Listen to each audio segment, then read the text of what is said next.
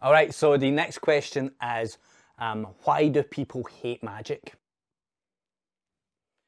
Here's something I found on the web. According to salvation.com, we've done a lot of research, both in focus testing and in the field, and we have learned that people really hate it when their spells get countered. And that's Alexa's thought on why people hate magic.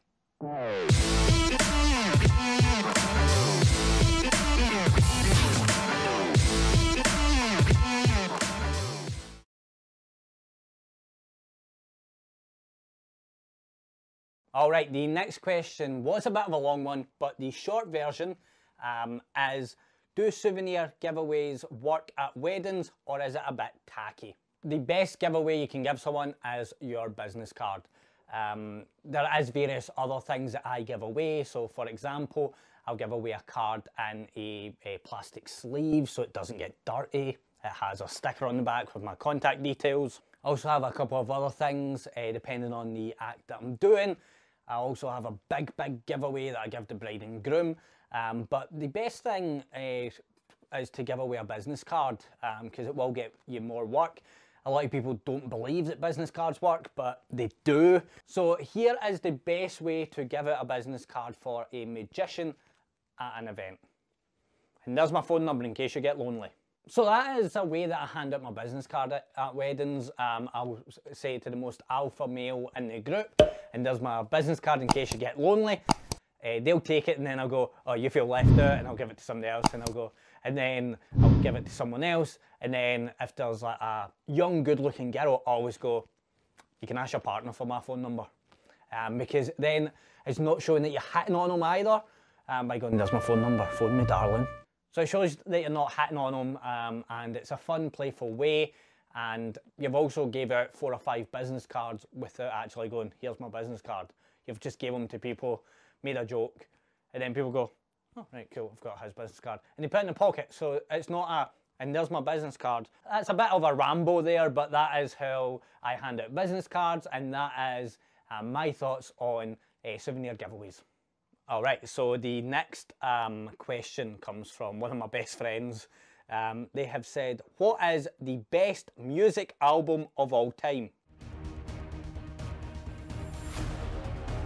Hybrid Theory by Linkin Park. Next question. Okay, so the next question I have is your favourite venue to perform at?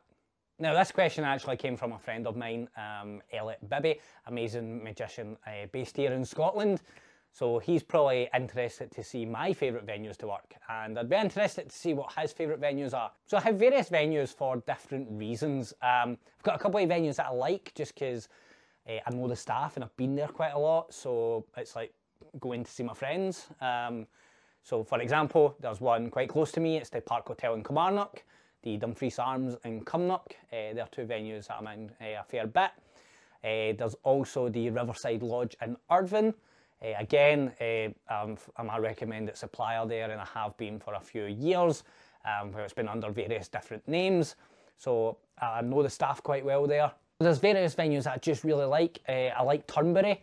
Turnberry is a five-star golf resort owned by Donald Trump.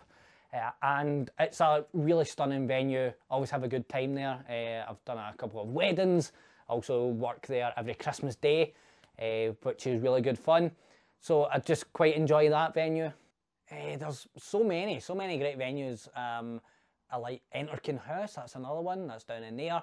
Uh, I do like uh, what's called the Brig of Doon, I like the Brig of Doon in Alloway. Um, but there's some that I really like because they're really convenient. So for example, one of my favourite venues that I perform in is the Grand Central in Glasgow. So literally, if I'm ever performing at the Grand Central, I get the train, I come off the train, and it's literally next door. It takes two minutes uh, from the train station, so I know it's uh, kind of safe and I'm not going to be late, um, get stuck in traffic or anything. So um, it's a convenient venue. And the last venue I'm going to mention is uh, actually Cameron House. Um, it looks over Loch Lomond. It's got an absolutely fantastic view. Um, so every time I, I go there, I kind of, as I'm walking in, just kind of take a few moments to just look at the uh, really nice view. So there we have it. That's just some of my favourite venues. Elliot, I know that you asked this question, so I'd like to hear yours. See how they uh, vary from uh, the venues that I enjoy and the venues you enjoy. Okay, so the next question comes from another magician from YouTube. This is a guy called Jack Rhodes. You might have saw him, uh, he's been on Penn and Teller Fool Us, he's been on the James Corden show, Ellen DeGeneres show. Um, you should check out his videos, he's really good. I'll put a little link in the description, so check out Jack's channel. So the question from uh, Jack Rhodes is, is this fake? No, it's very real. Very, very real. Just like your Penn and Teller performance, your performance on Ellen, and also your performance for James Corden. This is very real. All right, and the next question is what venue has the nicest soap? Okay, so this question came from my friend Elliot Bibby again. Um, so I like hand soap, right? And I'm not going to deny it. So I kind of privately, I know where has good hand soap. So uh, in answer to your question, Elliot, it's Turnberry. All right, so the next question is um, why do people hate magic?